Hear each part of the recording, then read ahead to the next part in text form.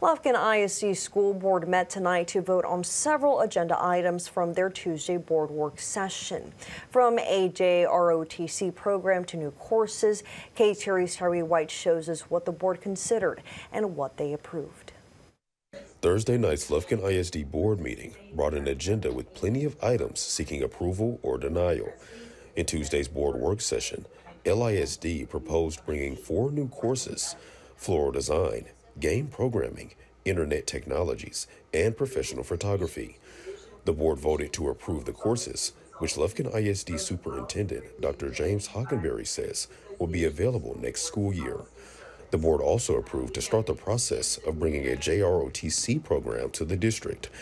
Dr. Hockenberry says the process can take years, but they'll begin as soon as possible. At Lufkin Middle School, the auditorium will soon reopen after the board approved to replace lighting and curtains inside it, which hasn't been operational for some time.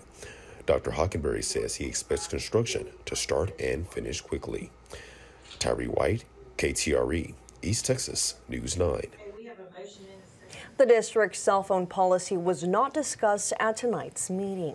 The Lufkin ISD School Board is set to hold their next work session on December 17th.